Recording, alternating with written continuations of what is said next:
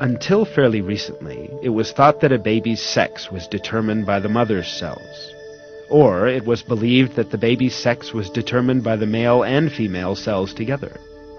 But we are given a different kind of information in the Quran, where it is stated that masculinity or femininity is created out of sperm poured forth into the womb.